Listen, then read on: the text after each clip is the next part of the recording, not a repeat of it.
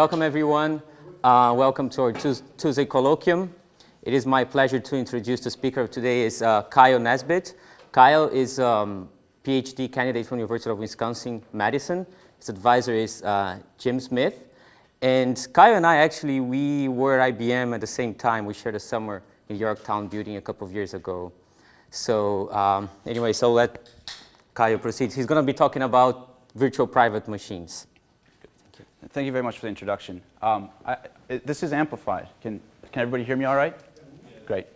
Um, so, yeah, so, so thank you for the introduction. Thank you for having me here. Uh, the title of this talk is Virtual Private Machines, a Resource Abstraction for Multi-Core Computer Systems. As Professor Ceze mentioned, this is work that I did with my advisor, Professor Jim Smith, at the University of Wisconsin-Madison. So the motivation for this work is really two conflicting trends. On the application side, what we see is that um, general purpose computing is moving off of desktops and onto devices such as smartphones and data center servers. Now the thing that's unique about this, at least in comparison with desktops, is that these devices will host a very diverse set of applications uh, where an important part of those applications will have uh, strict performance requirements. Now to illustrate this point, I have this Apple iPhone here. And so traditionally this is considered to be an embedded device, where the core functionality of this device is a set of real-time applications. But at the same time, this device is becoming more general purpose. Already we have web browsers and other productivity applications, and going forward this device is also becoming an open device. Apple's released their software developer kit, and now anybody can develop their own specific uh, general purpose applications for this device. Now on the architecture side, what we see is a conflicting trend, and that is high performance semiconductor manufacturers are moving aggressively towards more efficient designs, in particular multi-core designs. Now multi-core are, are more efficient for a number of reasons. Uh, the main reason I'm going to focus on here is that multi-core allow concurrently executing threads to share costly microarchitectural resources. Now this increased resource sharing improves the overall utilization and efficiency of the, of the device. However, the way it's implemented in today's systems is it leads to unpredictable performance, conflicting with our application trends. So the goal for this work is to provide an abstraction where we can get the best of both worlds, both high efficiency and predictable performance. Now, to give you a better idea of what I'm talking about when I talk about these microarchitectural resources, I'm going to start with an example of a conventional system. So this is what a conventional system looks like today. It has four processors, where each processor is on its own die. And attached to each processor is effectively a private memory system that consists of an L1 cache, L2 cache, and a private port to SDRAM. Now, the good thing about this type of organization is that the OS has complete control over resource sharing. That is, by assigning a task to a processor, the OS in effect assigns an entire slice of the system's resources. Uh, in addition to the processor, I'm sorry? Oh. In addition to the processor, a, a, private memory system. So the OS can use this, this, this mechanism, time slicing mechanism, in order to precisely satisfy task quality of service requirements. Now the shortcoming of this approach is that these resources these costly resources are really partitioned at a, at a pretty coarse granularity. And in general, uh, tasks' resource demands do not match that granularity. Either a task's resource demands are, are very light, and there's a bunch of unused resources in that private memory system, or a task's resource demands are very heavy, and if the lack of resources constrains or limits the task's performance. Overall, this is a very inefficient way to use uh, costly resources. Now, when we move into the multi-core era, what we are able to do is we're able to integrate multiple chip or multiple processors onto the same die. And this allows us to share these costly microarchitectural resources at a very fine granularity. So when I talk about shared microarchitectural resources, what I'm going to primarily focus on here today is the L2 cache bandwidth, the L2 cache uh, storage or capacity, and the SDRAM main memory bandwidth. I'm not going to consider this main memory capacity because it's not a microarchitectural resource. It's already exposed to the operating system through a set of paging, mechanisms and managed by OS policies. In contrast, these microarchitectural resources tend to be managed in a much more ad hoc manner. They're managed by independent hardware policies, um, and the naive approach would be, say, first come, first serve for the bandwidth, for the bandwidth resources, and least recently used for the storage resources. Now, as I said earlier, the, the good thing about this organization is it leads to higher resource utilization. The bad thing is that based on these policies that we have implemented in our memory hierarchy, um, a very aggressive threat is able to increase the contention on these shared memory system resources and really end up violating tasks' uh, quality of service requirements. That the OS has really lost control over the system's resources. So to summarize, in contemporary multi-core systems, what we have is we have this microarchitectural resource sharing for higher efficiency, but that really is, uh, uh, comes at the cost of unpredictable single task performance. And the objective of this research, research is to have the best of all of these. The microarchitectural resource sharing, predictable performance, and also, because we're able to coordinate the management of both the microarchitectural resources and processor time slices, higher aggregate performance. And to do that, what we're going to do is we're going to expose these microarchitectural resources to the operating systems through a set of mechanisms. And, and I really believe that this is kind of representative of a fundamental paradigm shift. That as we go forward, the cost of this memory system and these, these, these microarchitectural memory system resources is increasing, and it's, has a, it's contributing to performance uh, much more. And at the same time, processor, processors are becoming abundant. So we're really entering a new domain where, where managing and scheduling these memory system resources efficiently is more important than scheduling the processor resources. Now, I made a number of contributions uh, to this new paradigm. First of all, I, I, I proposed the first complete set of microarchitectural sharing mechanisms. This includes the first mechanisms to ma manage SDRAM bandwidth sharing and the first mechanisms to manage cache bandwidth sharing. And by implementing a complete set of these mechanisms, we are able to realize what we call is the virtual private machine abstraction the, the interface between policy and mechanism in future multi-core systems. Also in my thesis, I propose kind of a high-level extensible VPM policy architecture where uh, application policies and system policies can use this virtual private machine abstraction in order to satisfy a broad range of application uh, requirements or system requirements. Now, the outline of this talk somewhat follows my research philosophy. I'm going to start talking about the, the VPM framework at a very high level, at somewhat of an ideal or theoretical level, and then talk about what it means actually in practice. So I'm first going to formally define what a virtual private machine is and uh, describe the properties that it provides, quality service and performance isolation. Then I'm going to describe how these things are actually, how this ab abstraction is realized in both hardware and software. I'm going to provide a short valuation and discuss some future research directions. Now, as I started this talk, I said that we're going to have a very diverse set of applications with very diverse requirements. Now, instead of focusing on a very narrow set of those application requirements, my thesis looks at a more general resource management framework. And the basis of this framework is a very old and well-established design principle, and that is the design of policy and mechanism, where we implement the policies, which effectively provide the solutions, in software. And we implement them in software so that they can be configurable on a per application basis. Now, the mechanisms provide the primitives for those solutions. And those primitives ideally are universal. That is, uh, for any reasonable system and reasonable objective, those primitives can be combined in order to satisfy that objective. Um, and because these are universal, we can implement them in both a combination of hardware and software. Now, what I'm going to primarily focus on is this virtual private machine, which acts as the interface between policy and mechanism. And what a virtual private machine does is it virtualizes a multi-core system's performance. Now, to illustrate what I mean by that, I have, uh, once again, my shared, or my, my multi-core architecture with these shared microarchitectural resources. So a virtual private machine allows a policy to decompose that system's resources into what looks like a set of virtual private machines.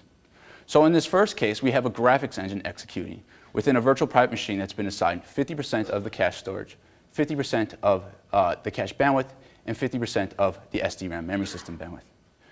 Uh, now, an important property that this virtual private machine provides is performance isolation.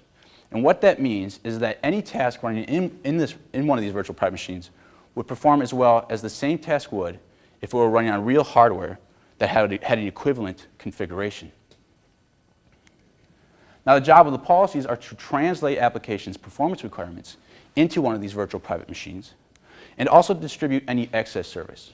And where excess service is service that is either unassigned resources, in this case 20% of uh, the cache bandwidth, cache storage, and cache or SD-RAM bandwidth, and also distribute unused resources, which implies that the policies that I'm talking about here are work conserving. Now it's important we distribute these excess resources in order to keep our, our utilization high. Now the mechanisms, what they do is they guarantee at runtime that these virtual private machine assignments are satisfied. So in addition to uh, the microarchitectural component of a virtual private machine, which I just, dis just discussed, a virtual private machine also has a temporal component, which is necessary in order to bound uh, a task's execution time. So that temporal component is effectively de uh, defines the amount of time that the microarchitectural resources are dedicated to a virtual private machine. And it's based on this notion of ideal proportional sharing. So let me describe what, that, what I mean by that briefly.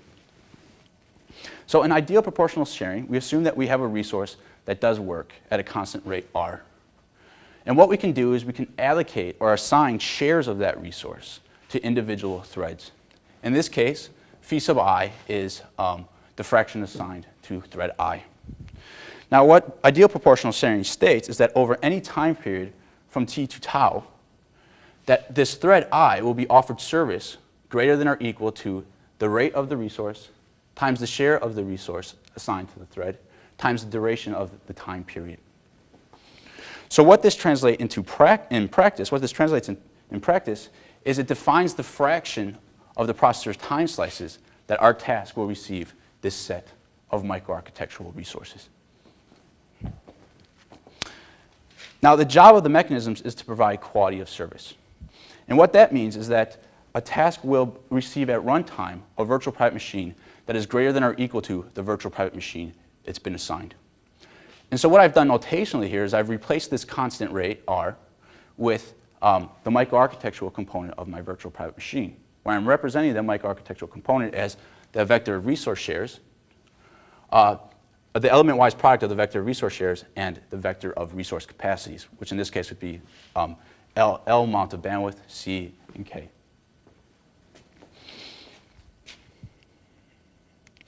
Now to illustrate what I mean by uh, offering a virtual private machine that is greater than or equal to one of one, another virtual private machine, I have to def define that ordering.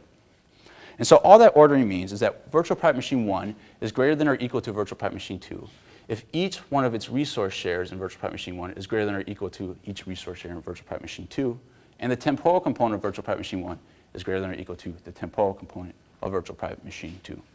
And to illustrate that pictorially, we have this example here where we have 50% for, for each one of the resources here and 10% for each one of the resources here. So what it means is that if we were assigned this virtual private machine, the mechanisms would satisfy that assignment if it were to offer a virtual private machine that's greater than or equal to the other virtual private machine at runtime. Yes? Why would you get the same proportion of each of the three resource types? Absolutely not. I just use that to keep the, the expression simple. It's important to note that uh, this is a partial ordering, so there are incomparable elements. In this case, we have uh, less cache bandwidth, but more cache storage. And we say these two are incomparable. If we assigned either one of these to a task, the other one wouldn't satisfy our definition of quality of service. Now, an important property, uh, workload independent property that this, this, this uh, ordering provides is performance monotonicity. And all that means is if we run one task on both of these virtual private machines, then we are assuming that the performance of that task on our greater, our greater virtual private machine, will be, the performance will be greater than or equal than on the lesser virtual private machine. And in the case of incomparable virtual private machines, if we ask this question about performance, the answer is, well, we really don't know. It really depends on, on the workload, how well the workload uses the cache capacity that it's been assigned. Now, with all of this, what I can do is I can defice, uh, precisely define my, my framework. So the job of the policy is to translate tasks objectives into virtual private machines. They do that by assigning a, a, a set of uh, microarchitectural resources and a temporal component for those microarchitectural resources. The mechanisms provide quality of service by ensuring at runtime the virtual private machine offered to a task is greater than or equal to the one that's been assigned. And assuming that we have performance monotonicity, then we can say that the system provides performance isolation, which as I described earlier, is um, the system will provide this task performance greater, or, performance greater than or equal to the performance of a real machine running that same task. Okay, so now I'm going to move on and talk about what this actually means in terms of software and hardware. And so what this means, first of all, is we need a scheduler, and we need the actual architectural support. So the scheduling problem turns out to be a very hard scheduling problem, which we've, we've had many discussions about, but actually haven't solved yet. Um, so let me describe exactly what it is. So what the scheduler must first of all guarantee is that um, it satisfies the temporal component of each virtual private machine. And it does that by context switching these virtual private machines here onto processors, multi-core processors. It also needs to guarantee that when it maps a set of tasks onto these multi-core uh, processors, that none of the microarchitectural components of the virtual private machines conflict with each other. Now to illustrate what I, what I mean by that pictorially, I have my set of virtual private machines down here, and the OS would then, or the scheduler would then context switch these on, making sure that this case never occurs, that we haven't um, oversigned the percent, you know, all of the, um, the cache storage.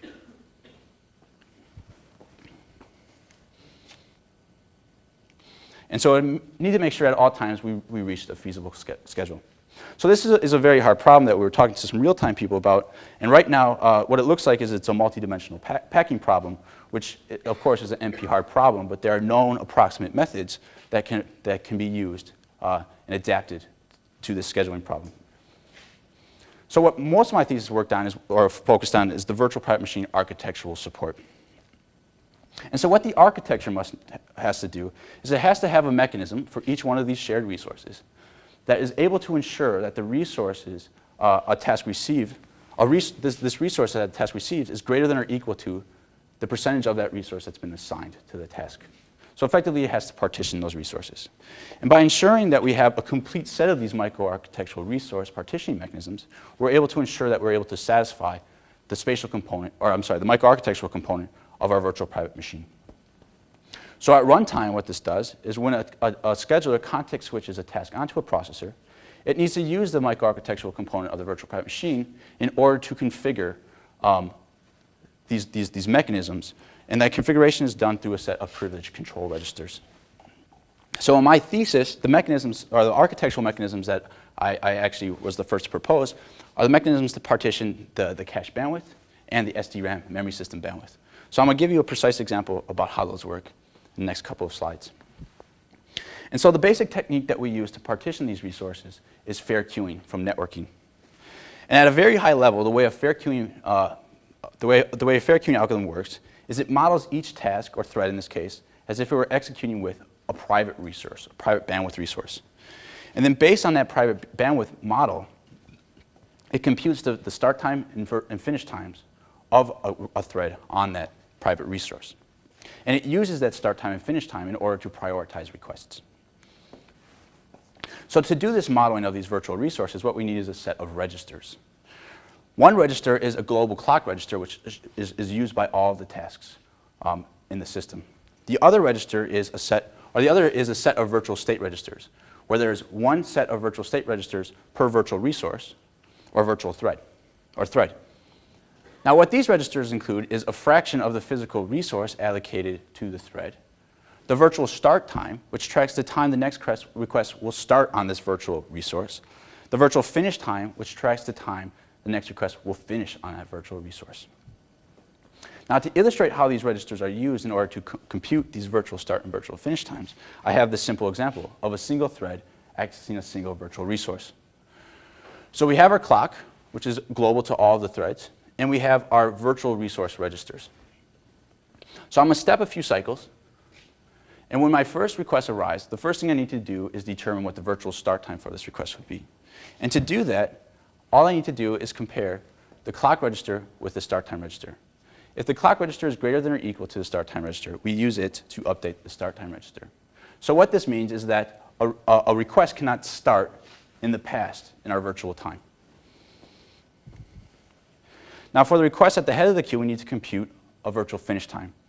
And the way we do that is we take the start time of the request and we add to it our virtual service time, where our virtual service time is simply the physical service time of our request divided by the bandwidth of this virtual resource, which in this case we're assuming a unit bandwidth physical resource, so the virtual bandwidth would just be one-fourth. And based on that simple calculation, we can determine the time that this request would have finished if we were executing on a virtual resource with a fraction of the physical resource's bandwidth. And we use it to update our finish time register. Now, the last thing we need to do is that when we service request, we need to uh, update our start time to reflect the time that that virtual resource would be available for the next request. And we simply do that by, by, by assigning that start time, um, the finish time of that request, of the last request. Now, one thing I want to note, uh, which will be important for the example in the next slide, is that requests can have require different amounts of services, service depending on the resource that it's accessing. So in this case, this request requires two units of service. Um, I'm sorry. And uh, that, that two units is used in order to compute the finish time of that, that packet, or of that request. Okay, so now to combine all of this, I'm going to give you an example of um, how we compute the virtual start and finish times and use them to arbitrate amongst requests accessing a single, um, a single shared microarchitectural bandwidth resource. So the resource that we're focusing on here is the data array in the shared L2 cache. And we're assuming that data array is ECC protected, and I'll tell you why in, in just a few seconds. So in this example, what we have here is we have um, three, three threads that are very aggressive and are streaming memory in and out of the memory system. They've already, in this example, have a bunch of pending requests available and ready to be serviced. So the requests with nothing in the box are considered to be read requests. And because they're accessing this data array, they only require one unit of service. The requests with use in the boxes are update requests.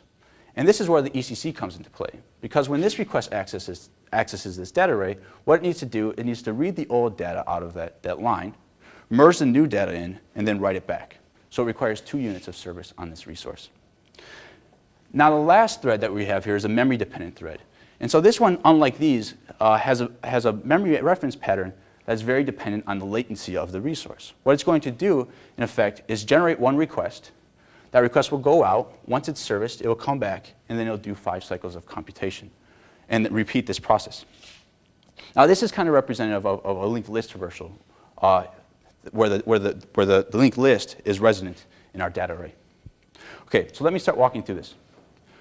The first thing that's going to happen is my memory-dependent thread is going to generate its first request, and we're going to compute its finish time based on the calculation in the last slide. The next thing we're going to do is we're going to compare these virtual finish times and select the request uh, with the earliest virtual finish time first. In this case, we have a tie, and we're just going to assume that that tie is broken arbitrarily. So we're going to handle our second streaming thread and update its start and finish time registers. Once again, the arbiter will select the request with the earliest virtual finish time first. In this case, it's our memory-dependent thread. It will be serviced, and then go back and start its five cycles of computation. In the meantime, these arbiters will continue to service request earliest virtual finish time first. This one is an update, so it takes two units of service. Um, and earliest virtual finish time first. In the meantime, this, this continues to compute. And after five cycles, what will happen is this memory-dependent thread will generate a new request. We'll update our start register, compute our finish time, and continue to service request earliest virtual finish time first. So now what we've seen that we've, we've stepped through eight clock cycles here is that even though each one of these requests has very different memory traffic uh, or memory request behavior, that we're able, using the fair queuing algorithm, to provide them all with their share, their assigned share of the resource. Now, if we use something like round robin, which many consider to be naively fair, fair um, I computed these results offline, and we see that, that, in fact, round robin is not fair. It doesn't take into account this uh, memory-dependent re uh, referencing re uh, rate, and it does not take into account um, the different resource requirements of the different requests. So up to this point, I've really kind of discussed these virtual private machine mechanisms at a very high um, level of abstraction. But in reality, what we need to do is we need to implement one of these fair queuing mechanisms in front of each contended, each contended for bandwidth resource. So here I have a graphic of um, what a, an actual physical memory system or shared cache would look like. And what it consists of is two processors that are connected by a full crossbar. And inside of these, we have uh, effectively these arbiters that control access to the tag array and data arrays.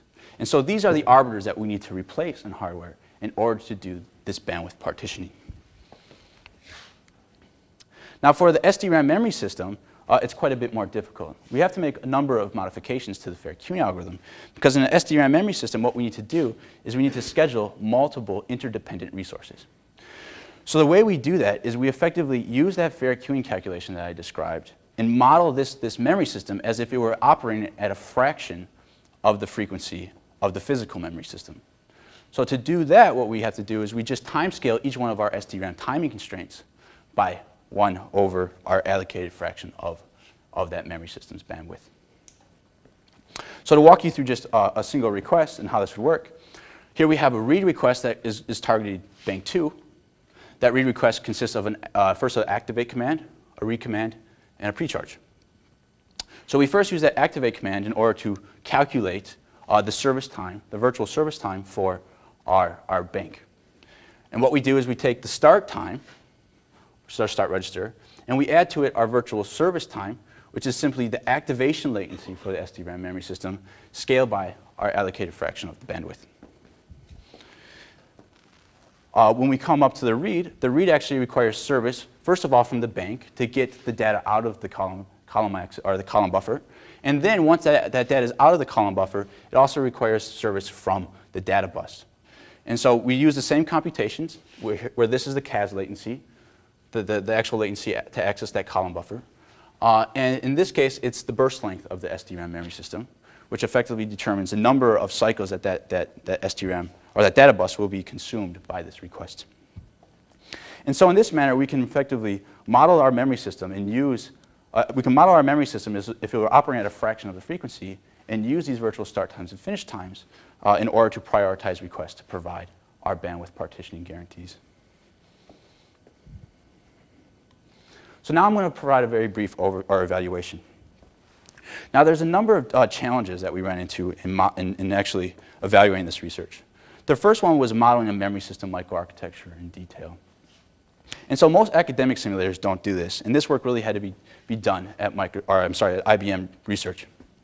The second problem that we ran into is that once we modeled everything very well, it was too slow to simulate the long-term workload characteristics that we were interested in. So our solutions here, which I'll discuss briefly, is first of all, we built a structural performance model which is able to capture these timing characteristics more precisely with less effort.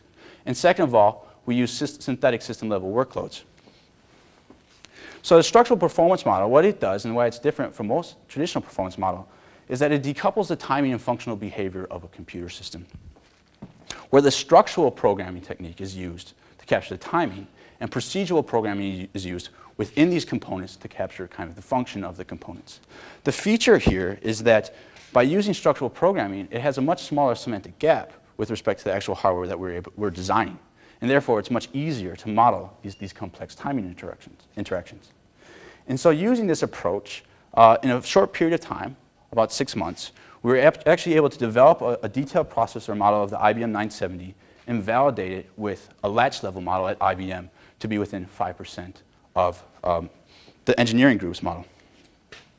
And at this point, this model has grown quite a bit. I've used it for my thesis. It's approximately 100,000 lines of SystemC code. And I recently got the right, rights from, from, from IBM um, to release this as open source software. So for um, the workload, what we use is a synthetic workload, like I said, for, for two reasons. One, one is so that we can capture these long-term OS scheduling behaviors. And the second reason is so that we can explore a very uh, broad range of application behaviors. As I described earlier, the objective for this work is to provide primitives that are universal, that apply to, to any type of workload or application that we, that we are interested in. And by using a synthetic workload, we can explore a larger application space. So the thing that um, is important for the results that I'm going to present about this, this synthetic workload generation is that we have eight tasks, and that those tasks are divided into subtasks. And the characteristic, the, the two first order characteristics those tasks have is they have heterogeneous execution times and heterogeneous memory system usage. And the main thing that we're going to focus on here is that subtask turnaround time. That simply is the time from when the, the, the subtask is injected into the system to the time at when it, you know, it waits in the, in, in the scheduling queues, runs on the processors, and then finally completes and exits the system. Um, so the policies that we're going to focus on for actually assigning virtual private machines are quite simple. And all they do is they assign homogeneous virtual private machines, which means that we don't have this co-scheduling conflict issue, which means that we can simply schedule these virtual private machines using an existing proportional fair multiprocessor scheduling algorithm. Okay, so the baseline that we're going to compare everything against is a private microarchitecture like I described in um, my motivation. So we have a private memory system where each processor gets one-fourth of the total uh, memory resources that we have. Um, and we're using proportional fair scheduling, where each, each task is assigned one half of a processor's bandwidth. Right? We have four processors and eight tasks, so it's a fair division of the bandwidth. We're also going to compare this with the LRU FCFS, which is kind of our naive baseline of what, uh, it's representative of what's done in today's systems. We use the same proportional scheduler with the same uh, fraction of, of, of processor bandwidth assigned to each task. And then the virtual private machine policy that we're going to compare this with initially is very similar in nature to um, our private microarchitecture, except we're mapping our virtual private machines now on top of our shared, our, our microarchitectural resource management mechanisms. And so we have four processors and eight tasks, which means we can assign one-fourth of each one of these shared microarchitectural resources to each virtual private machine, each task. And we can assign one half of the processor, of processor's bandwidth, or one half of, yeah, processor's bandwidth represents a temporal component of our virtual private machine. So what this graph shows, first of all, is on um, the, the y-axis, we have improvement in average turnaround time. On the x-axis, we, x-axis, we have the different configurations that we're going to, to evaluate. Um, all of our results are normalized to the pri private microarchitectural case. So in that case, uh, its, its, its, improvement, or its average turnaround time is simply 1. Now in the LRU case, where we're able to use these resources more efficiently, efficiently, what we see is that we have an, an, uh, about 25% improvement in the average turnaround time. However, the shortcoming of this is this. Um, what we plot here is we plot the individual uh, turnaround times of each subtask normalized to what they were when we were running on the private microarchitecture. So this is the worst case turnaround time of all the subtasks that we looked at. And so what we see here is that we've really uh, dipped quite a bit below um, the performance of this subtask when it was running by itself, or when it was running on the private microarchitecture. At the same time, we see that some subtasks ran quite fast, three times faster than they would have if they were running simply on that private microarchitecture. And so what we see is that we have a, quite a range of uh, subtask turnaround time, where that range is really determined by the workload characteristics of the different subtasks. The very aggressive workload characteristics were able to um, increase the contention on the resources, uh, you know, decreasing the performance of the less aggressive subtasks, while increasing the performance of the more um, uh, while the, the more aggressive subtasks, actually performance increased. Now, when we look at the virtual private machine configuration, what we see first of all is we get about the same performance that we did with LRU FCFS. In addition, what we see is that we have a much smaller range of normalized turnaround times. We also see that we, we, we do provide our, or satisfy our performance isolation objective, right? Every single subtest that we executed has, had a performance that was greater than or equal to the case with the private microarchitecture. So this implies that we, uh, our virtual private machine provides quality service, uh, performance monotonicity in general holds, and also that we're work conserving, right? Because each task receives service that was greater than or equal to um, the performance of the private microarchitecture. Now the second uh, set of results I'm going to show is when I vary the microarchitectural component of these virtual private machines. So my first data point will be the data point that I just showed, where all the resources are equally assigned to the virtual private machines. And then I'm going to start to decrease the fraction of those resources that are assigned, all the way down to, to where only half of the total system resources are actually dedicated to a specific virtual private machine. And so what this is going to do is actually increase the amount of excess service available in the system. And what I'm going to do is I'm going to distribute that excess service in order to optimize aggregate performance. Unfortunately, I don't have time to, to go into the actual aggregate performance optimizations, but if you're interested, you can look at it uh, in this technical report that's on my website. And so the takeaway here is that as we decrease the fraction of resources that are dedicated to a specific task, we can increase the amount of the aggregate performance of the system. But at the same time, that comes at the cost of decreasing the predictability of the performance of any given subtask. And so really this is a very high-level policy that would allow us, say, a system administrator to balance uh, both predictable performance and aggregate performance based on what's important to the workload. So to summarize, um, I've discussed the virtual private machine abstraction, and I propose using this as the interface between policy and mechanisms and future multi-core systems. where the policies translate high-level objectives into virtual private machines, and, and the mechanisms guarantee at runtime that these virtual private machine assignments are satisfied. Now, the real feature, of what I believe of this work, is that uh, it provides a very solid foundation for future work. And the two areas that I'm interested in are in uh, using these abstractions to support concurrent programming models and using the abstractions to better characterize uh, task resource requirements and then using those resource requirements to do SLCs and higher levels of system integration. So this research agenda is based on um, what most research agendas in, in, computer architecture is based on Moore's law. And so typically, uh, Moore's law has been applied to, to improve performance. And going off in the future, the way the industry is tackling this is by increasing the number of cores that are going to be implemented or integrated onto a single die. Now, it's easy to integrate the cores. What's difficult is to program the cores. And so I'm going to look at uh, using, that, um, using abstractions in order to make concurrent programming easier. The second thing I'm very interested in is, is kind of uh, not using the transistors for performance, but using those transistors to reduce the cost and power consumption of systems. And this is going to be, I think, important, especially for mobile devices. So what I'm going to use to do this future work is, is, is somewhat um, based on my, my prior thesis work, at least at the foundation. And on top of that, what we've started to talk about is an extensible policy architecture. And what that extensible policy architecture does uh, is broken into system policies and application policies, where the application policies translate applications objectives into virtual private machines. And this can be done on a per application basis.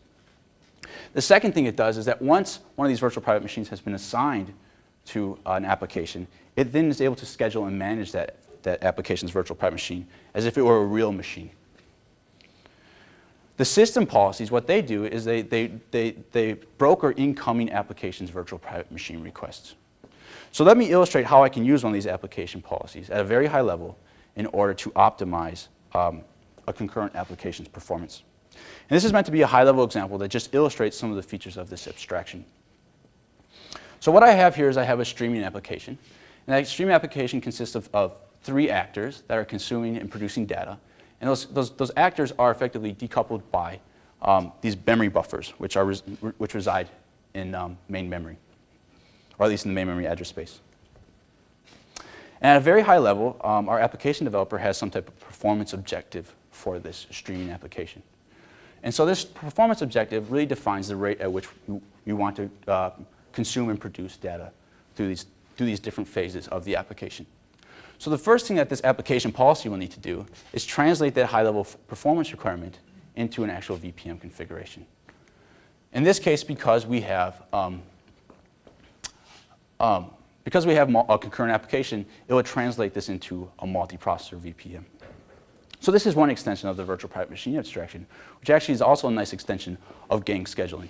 In addition to spe specifying the number of processors um, that this application needs to run, we're now specifying effectively the memory system that that application would need to run efficiently. So this translation from these high-level uh, uh, performance objectives can first of all be done either offline by an application developer, and I plan to look at some of the developer tools and analysis required to do that. Or it could be done online in a simple fashion using just uh, performance counters and other heuristics. I plan to look at both. Now, once this application has been assigned this virtual private machine, we can implement an application scheduler, which is able to schedule these processors and manage that, that virtual private machine's um, shared microarchitectural resource. One of the other interesting extensions to this abstraction is recursive virtualization, where the application scheduler is actually able to assign or, or break up the assigned virtual private resources and assign them to individual tasks. So this is a way to support um, specialized hierarch hierarchical resource management policies and also distribute uh, the scheduling burden across a larger percentage of the chip. The last thing the scheduler would have to do is effectively map our concurrent application um, in an application-specific way onto uh, the available resources. And so it mapped the, the individual actors onto separate processors, and it used these rates in order to configure the bandwidth necessary throughout each one of these um, virtual private machine memory hierarchies. It uses the size of these buffers in order to configure um, the amount of cache storage needed for each one of the virtual private machines.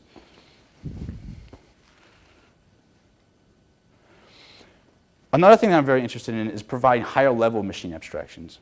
So the programmer can really think about their application in the terms that they want to, say in the streaming application domain instead of in terms of virtual private machines. And also providing developer tools that work between both the machine abstractions and, um, and the programmer in order to allow the programmer to kind of visualize the performance of their applications. So another important area is um, system policies and actually using these virtual private machines to characterize applications' resource requirements so that we can build more efficient systems. So one of the things that I can do to extend this virtual private machine, another thing I can do to extend this virtual private machine is to apply it to power. And the way we do that is by defining the notion of a maximum virtual private machine. So up to this point, we really defined a minimum virtual private machine. And we, just, we said that this provides performance isolation. But if we are able to assign maximum virtual private machines, and we assume that power monotonicity holds, which we know is the case, right? A task's uh, power consumption is just a monotonic function of its resource usage. Then we can use this virtual private machine abstraction also to control power, temperature, and things like transistor wear out. Um, we also want to be able to characterize this power, fault tolerance, uh, and possibly reliability requirements using these higher level programmer abstractions. And then use all of this to optimize system-wide power performance and reliability. Now, there are many challenges also in evaluating this work. Um, just to summarize, I plan to look at uh, applications in both the embedded domain and also data center server types of applications. And going forward, I think the real uh, challenge to, uh, you know, in evaluating this work is being able to simulate these long-term workload characteristics. And to do that, I'm expecting to use FPGAs in synthesizing the transaction level structural model that I developed at IBM. Uh, the uh, virtual private machine uh, model for uh, applications that really have hard deadlines. Like you've got uh, speech decompression that has to be going continuously as the phone is receiving uh, data. So, so a lot of the abstraction that we define is based on things that could provide hard deadlines. However, in many cases, we have to use approximations of, say, the fair queuing algorithms, the proportional fair scheduler, um, in order to make them efficient. Um, and so I think this is actually a very interesting topic, and is, is how do we, um, you know, we really looked at this in the context of general purpose computing. You know, how would we have to change the mechanisms for them to apply in this, this kind of hard real-time uh, environment? But I think that's possible. It'll just take additional analysis. Yes? So at a given point in time, I'll only schedule uh, processes that either meet or undersubscribe the existing resources. But if you have a lot of tasks, which in total would oversubscribe the resources, does it have another mechanism to bound the number of times individual tasks will be left out of the cycle? Oh yeah, so, so this is a, a, a classic admission control problem. And so based on, you know, I talked about kind of these multidimensional packing problems. Actually, some of these multidimensional packing approximate methods have something that is able to effectively uh, do exactly what you say. Prevent things that would oversubscribe the system from entering the system, admission control. So, so you, you, you just block the extra task in the first place rather than the, give it Well, the, the, yes, the first step is to recognize that the system is overloaded. The second step is to determine what to do. One approach is just to block the task. Say, say you cannot be admitted to the system. There's other approaches, though. We could say, um, look at the priority of the tasks and revoke kind of already admitted tasks that have a lower priority. Um, there's a number of policies that we could, we could also try to kind of redistribute the resources amongst these virtual private machine configurations. And so that really is a kind of a system or application specific design decision. And so we could build a policy or policies uh, that do any one of those things. Yes? How far does this scale? I mean, you know, you showed four cores, 10 cores, 100 cores, 1,000? Um, no, so, so, so this is one of the future research challenges also. So what I really kind of talked about today were these kind of monolithic shared microarchitectural resources. Where going forward, we really know that these resources, as we scale up, are going to be more distributed in nature. And so I think one of the interesting challenges is, is how do we apply a reasonable, perform, or, or reasonable abstractions like the virtual private machine abstraction to this distributed microarchitecture. And so in many ways, what the virtual private machine behaves like, it's like a virtual private machine overlay, right? Where we can't effectively guarantee that virtual private machine, but we can somehow approximate it. I think the difficulty is in determining what is approximate and defining that precisely. Yes? also, if you were to look at, cloud computing and things on the data center scale, would this apply to virtual machines running uh, with a shared uh, network bus and other larger level resources, or? Yeah, so I, I, I'm not sure, but that is something that I'm interested in looking at. Um, definitely things, so, so, so the next step wouldn't be to go to like the big data center servers, but to go to um, just, just the other resources inside of a computer system, I/O ports and uh, you know that type, you know disks and things of that nature. And so in fact, there's actually been some work on that. Um, you know, Xen, for example, uh, has some type of fair queuing mechanism that, that um, you know, arbitrates between requests for the shared disk bandwidth. Um, and I think really what, what this would require is just integrating kind of existing techniques that people are talking about into the abstraction to provide kind of a whole system abstraction. The next step then, I guess, would be to go to the large Google-style distributed, um, distributed systems. Yes?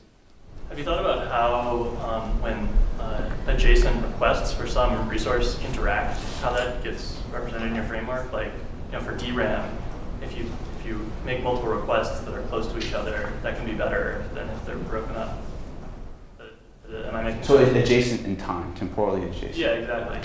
Um, and, and so, so yes, so we do we definitely characterize how those um, those those those things interact. And so um, one of the things is we, we provide if they're if they're requests from different different um, tasks, we, we ensure that we provide these bandwidth guarantees. But that is it's not perfect, right? There's also this preemption latency, which I think you're kind of you know alluding to, that has to be taken into account, um, right? Where, where we can't just simply start servicing one request and then drop it on the floor as soon as another request comes in. And so, like I said, some of these things are somewhat approximate, um, but we do take them to account and uh, actually model all these, these, these different problems. So you had examples up there where, you know, one virtual private machine had 25% of L1 cache and 50% of L2 cache. Um, if you're using time sharing to accomplish this, does it even make sense to give different proportions on that? Like, would you have another process having part of the L1 cache during that extra 25% of time where the first process had the other 50% of the L2 cache? Um, I, I think so. I mean, so we've kind of decoupled this process of determining what a, a virtual private machine is and actually satisfying the virtual private machine. So the, the, the, the, the, the, the idea of you know, determining what a virtual private machine configuration really depends on um, whatever the performance objective or requirements of the application are. And so in some cases, in order to satisfy those performance objectives, you may need a larger cache, a smaller cache. You may need a larger temporal component, smaller temporal component. Um, and in many cases, I said that these were incomparable, uh, that we have a partial ordering. So what that means is that we can actually have two virtual private machines that provide the, the same performance but are, are incomparable elements in our ordering. And which one is better, I think depends on um, a lot of kind of interesting you know, questions that, that, that you kind of alluded to. More questions? We still have some time. I actually had a, I was curious about um, if you have resources like interconnection network in a, in, in a large scale multi-core, let's say imagine 120 cores, where you can't really uh, pinpoint a resource with a single number. So how would you uh, Yeah, so this, is, this this is a very interesting point. In fact, there's a, there's a paper coming up in ISCA on providing quality service over general interconnection networks. So the difficulty is, is that um, pretty much everything that, that I've done so far has assumed that we have very large buffers, right? So, so that we can actually make these queuing decisions and that the buffers don't back up and kind of cause cascading delays. The difference in an interconnection network, um, and I'm sorry, the reason we can make that assumption is because in general these buffers are not a real critical resource in the types of kind of monolithic architectures I'm looking at. They're really kind of very small in comparison with say the cache storage or the SDRAM memory system control. Um, so the difference in uh, an, a general interconnection network is that these bandwidth res- or these buffer resources can be actually a, a large component of the total interconnection network's area. And so that is what causes or prevents us from applying these fair queuing techniques directly. Um, the solutions that people tend to look at when, when you can't assume this infinite buffer or make this infinite buffer assumption is that they tend to uh, control the rate at which data enters um, the interconnection network. And based on that, you can actually provide some type, some stochastic bounds on a level of quality of service that you're actually able to offer inside of the interconnection network. All right. Oh, one more question. As a follow-up to one of the earlier questions, uh, if you're controlling access to SD-RAM and you have a stream of dynamic accesses, and it doesn't matter whether it's from one resource or another, if they all go to the same DRAM page, it's much more efficient to service those contiguously because the page is already open. Yes. Um, but that's not the kind of information you have ahead of time because it, it depends on actual address sequence. So do you treat all those accesses as uniform, let's say, uh, one unit requests, or do you do some sort of optimization where you say, the first one is more expensive than all subsequent ones? Yeah, yes, so, so we actually do, we take that, take that into account. Um, and this actually, if you're, if you're really interested in this, you can look at our micro paper, but at a very high level, what we do is, is we allow a task, once it opens a page, to effectively have a, a window of time that it can keep that page open and service these requests very fast in this very efficient manner. And then after that, that, that, that, that window of time, we force that page to close so that other threads can get fair access to that bank. So, so and effectively, you know, the mechanism that we provide is able, you're able to adjust that. And we've looked at it a little bit, um, you know, what's the right time window. And it turns out it's only a couple of requests.